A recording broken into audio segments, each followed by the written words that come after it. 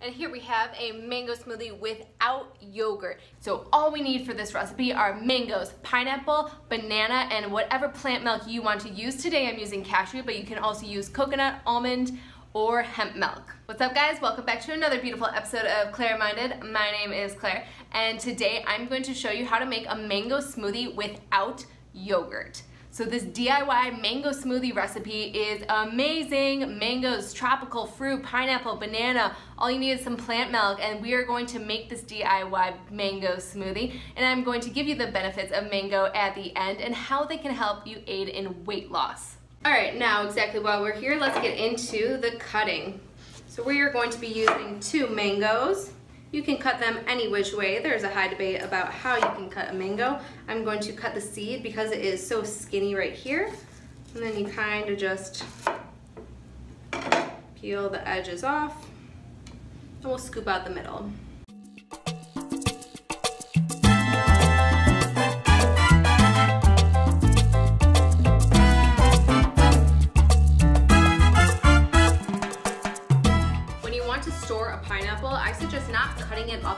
Because when you cut a fruit up all the way and then you just put it in Tupperware, it actually loses its nutritional value 20 minutes after it's cut. So you wanna keep fruit in its whole entirety until you actually wanna eat it. So storing a pineapple, keep the leaves on, put the bottom simply on a plate, stick it in the fridge.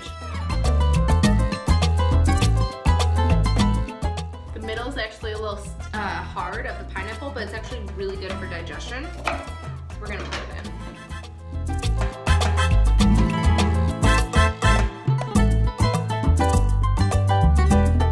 Creamy, delicious, naturally sweet is so good, you guys.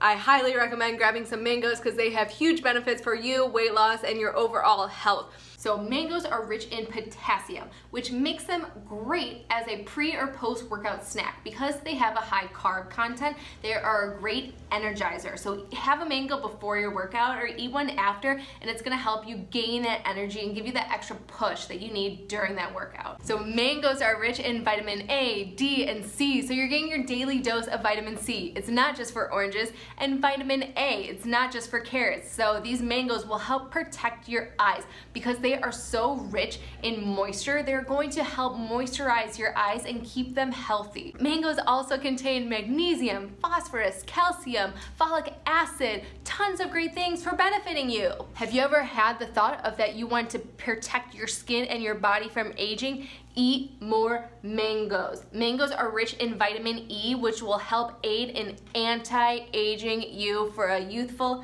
you. These guys right here, mangoes, they also contain vitamin K, which helps build your strong bones so you can live longer. They are so rich in fiber. Mangoes are also super satiating, meaning that they will satisfy you. I'm going to give you a guarantee right now. I'm consuming on average anywhere from about three to five a day while I'm in peak mango season.